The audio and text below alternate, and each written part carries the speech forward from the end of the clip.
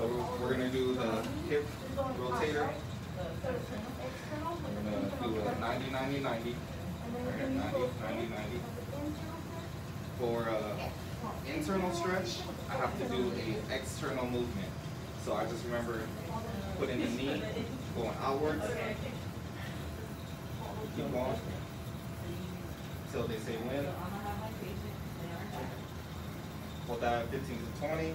Same way for the opposite. I mean, vice versa is I'm going a uh, internal movement and I'm stretching externally.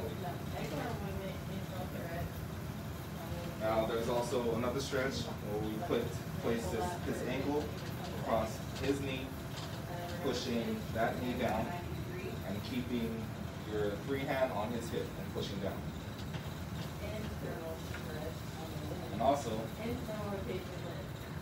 having his leg hang off the table, doing the same external movement or internal movement.